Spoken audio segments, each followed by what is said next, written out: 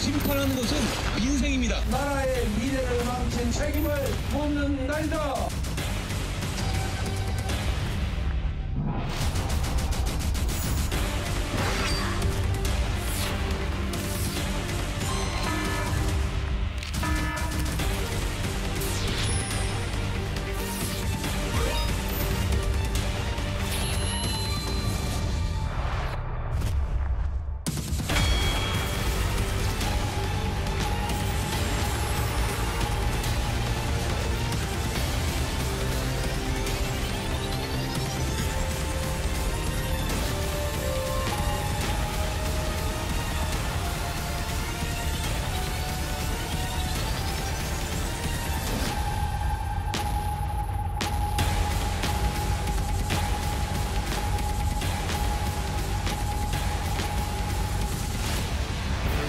네, 더불어민주당과 더불어민주연합 압승이 확실시 되고 있습니다. 더불어민주당과 민주연합 183석에서 107석, 국민의힘과 국민의미래 85석에서 100석으로 출구조사 결과 예측됐습니다.